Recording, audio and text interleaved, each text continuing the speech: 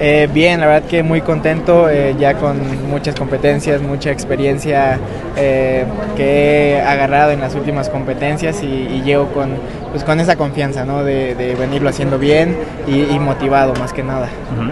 Eh, después de lo que viviste el año pasado y ahora con eh, este problema que hubo con, con los apoyos, y ahora cómo, cómo te sientes y, y cómo está la situación con Canadá y cómo se sienten apoyados con, con Canadá y con todo el entorno del deporte mexicano. Eh, bien, la verdad que siempre ha estado ese apoyo de las instalaciones, siempre este, he tenido donde estar, las comidas, todo.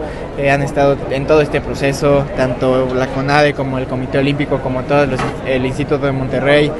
La verdad que todos y también se han sumado patrocinadores, entonces estoy muy contento de, de poder de sentir ese apoyo y, y, y pues feliz de, de, de, que todo, todo ha sido para sumar. ¿Cómo te sientes de, físicamente al 100%? ¿Todavía te faltan?